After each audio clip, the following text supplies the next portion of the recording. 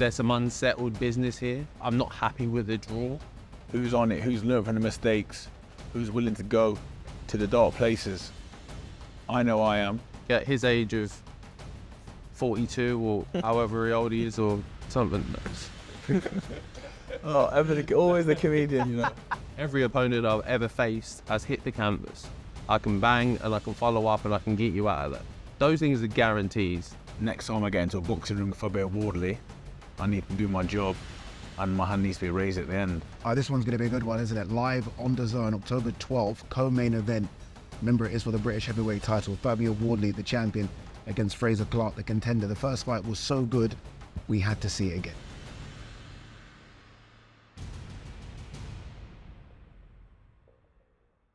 Gents, here we are again. I almost feel like um, with you two there, there must be a point where you're almost sick of the sight of seeing each other because you've been linked with each other for a long, long time, even prior to the first fight in March. Is there a case, and I'll, I'll go to you, Frazer, with this one, is there a case of you kind of have got each other's respect now because of the 12 round war you had? I never didn't respect Fabio, you know. We didn't have a relationship beforehand, but we're in British boxing. We see each other at shows and stuff like that. It's never been it's never been a case of being disrespectful towards him. I respect what he's done. It's just the same as any competitor. He's got something that I wanted. Mm-hmm. Build up to a fight, there's some needle, some back and forth, some things said. All of that really goes out of the window once you once you share 12 hellish rounds with someone. There's a there's a good level of respect there for him. You know, I've covered so many British title fights, right, from the small weights up into the heavyweights, and I've never seen a British title fight that's so split down the middle in terms of people's opinions on who's going to win this fight, just based on how the first fight was. Why do you think you win it this time round, Fabio? I'm the younger, the fresher fighter. There's more attributes to my game which I can advance and I can improve on to bring into the next fight. I think that he's come from his that very strong, well schooled ABA, GB squad background.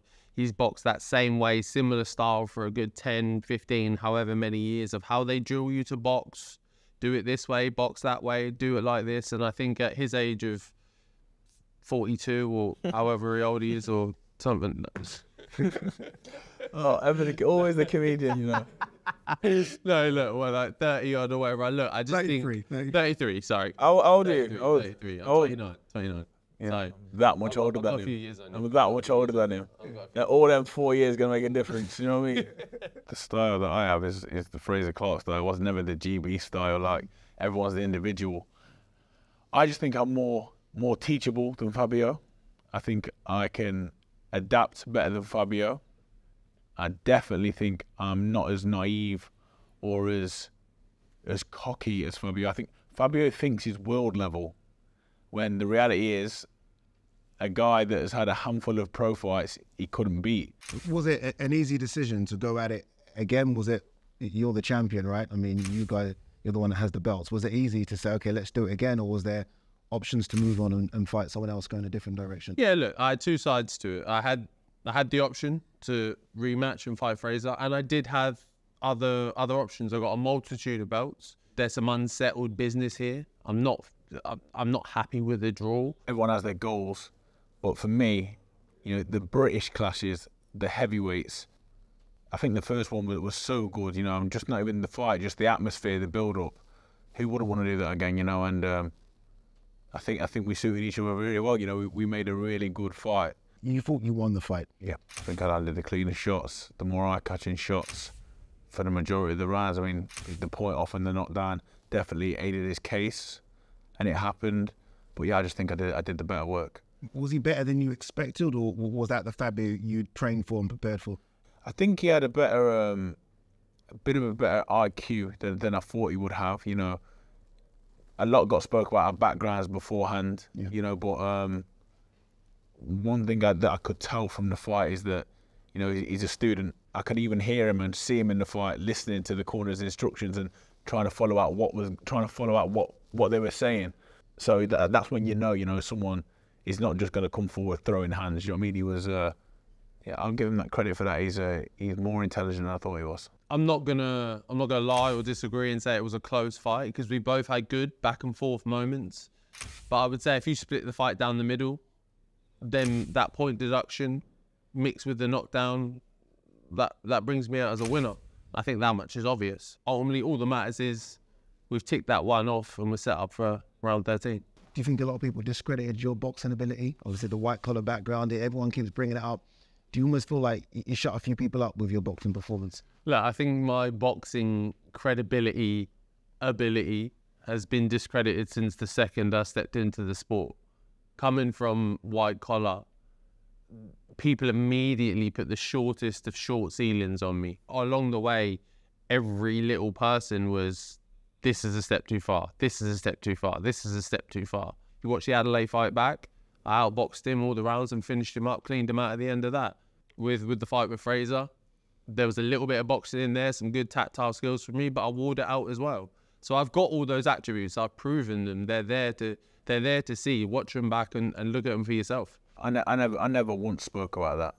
No, I'm not. I, no, I'm just saying, I never once spoke about his background because I'm not naive. You know, this is professional boxing, and I've been in the gym with, I've been in the gym with world champions that I've looked at and thought on a skill level, they ain't that great, but in terms of being tough, being fit, and being able to fight, unbelievable. So professional boxing, you know, if if, if you have them attributes, you know, you can go a long way. One thing we have seen with you, Fabio, is that when you have someone hurt, that that's it, right? And once you smell blood, kind of the fight gets over and done with very, very quickly after that. Was you surprised that you was able to put Frazer down and not get the job done? Uh, Here's the bell. no, because I put him down on the last seconds of the fifth round. He was able to get back up, have his minute recovery, come back into the sixth round, spit his gum shot out a couple of times, garner a few seconds. Some old, some old wily boxer tricks. Yeah, I was delayed in the process of getting people out, but you can see from my career, as soon as I have you hurt, you're getting out of that. Every opponent I've ever faced has hit the canvas. I can bang and I can follow up and I can get you out of there. Those things are guarantees. They're done. They're ticked off. Do you expect to get the stoppage this time around? Yeah, one thousand percent. Yeah. One thousand percent. Look, I had him going numerous times in the first fight. I had him hurt. I did. I followed up in the wrong way. I, I've, I looked at that back. I've analysed it. I rushed it a bit. I got too overeager.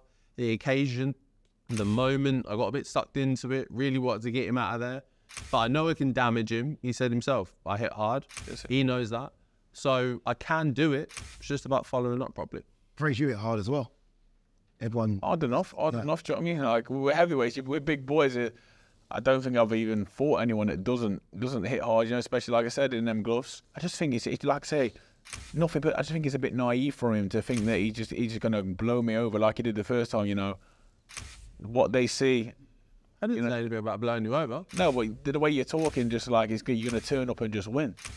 I'm going to turn up and win. I didn't say I'm going to blow you over though. I'm going to turn up and win. Yeah, like I, I, it's, you it sounded like you feel it's gonna be an easy job. Not at all. Well, that's what, I that's what, didn't that's say- just, just the way it I sounds. say. It's just the I way it sounds. you over. I It's just say the way it none of those sounds. things. I just said I'm going to turn up and win. It's just the way it sounds.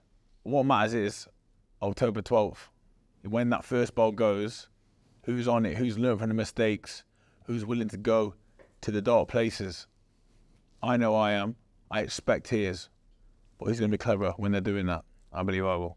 do you think you can knock out Fabio? Yeah, absolutely. I think he'll walk onto one. He'll knock himself out. He'll walk onto the shot. You know, you, you had him hurt in the first fight. Yeah. Yeah. This is interesting. Um, Did he?